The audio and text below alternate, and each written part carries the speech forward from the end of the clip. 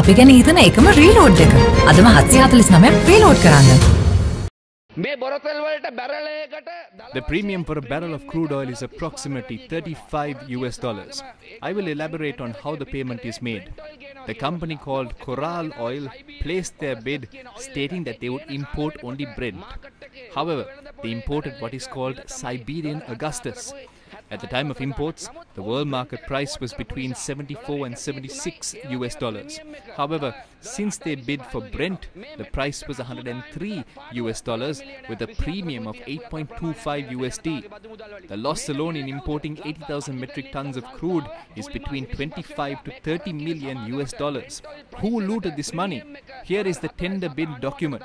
On the 25th of July, Ceylon Petroleum Corporation awarded the tender to Coral Oil for the Brent price with a premium of 4.98 USD.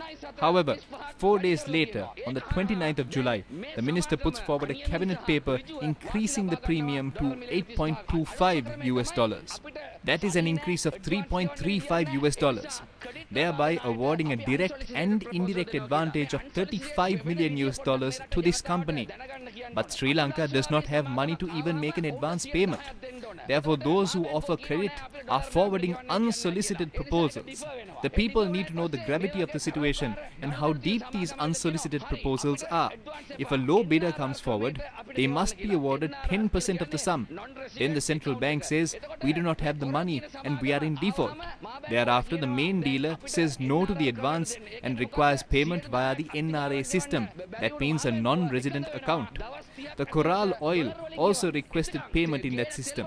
So the central bank, which does not have money to pay the 10% advance, promises to make the payment in US dollars within 30 days. Then the CPC deposits 115% of the petroleum value in rupees. The central bank converts the money to USD after shipment is received. Thereafter, a premium is also paid. The governor of the central bank must respond to this. How is it that the central bank that could not source dollars on day one make payments in US dollars within 30 days with the premium? Approximately 1.2 million US dollars is obtained as a bribe from every single shipment of refined fuel. If four vessels reach Sri Lanka, that's approximately 8.3 million US dollars. Who are these people? Is the central bank governor unaware of this? Who is Mani, the local agent of Coral Oil? This person has sent an email to the CPC.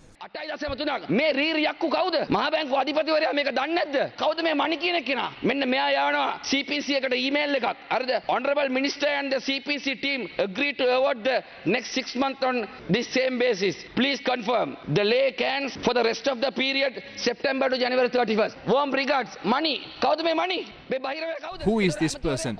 How can the minister and the CPC agree to such things without calling for tenders? How is the central bank governor preparing the payment plan for US dollars?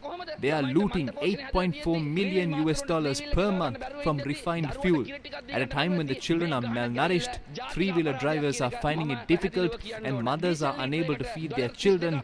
This type of looting should be considered a national crime.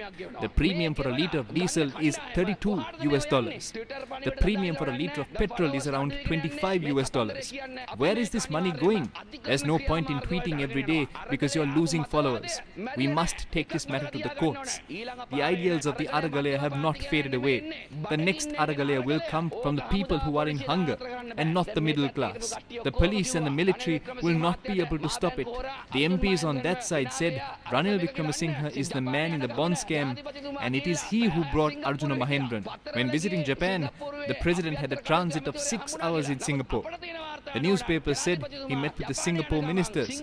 However, we are told that he had lunch in Singapore with Arjuna Mahendran.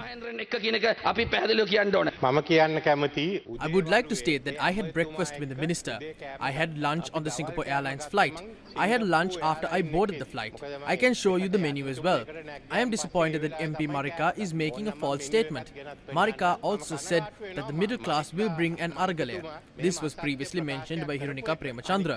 I am happy that both of them are thinking alike. I do not agree. It is clear that MP Marikkar is following the footsteps of Hirunika Premachandra. අඩිපාරේ මන්ත්‍රතුමා යනවා කියලා අපිට පේනවා. මම කිව්වේ මාධ්‍ය පලවෙච්ච එක. I spoke of something in the media. When you were my leader, you were aware that I would never follow the footsteps of Hirunika. ගඩිපාර කවදාත් ගිල්ලත්න යන්නෙත් නෑ. ඒකයි ඔබතුමා දැන් එහෙම යන්නේ නැත්නම් තියෙන්නේ මං එක්ක ගමන යන්න.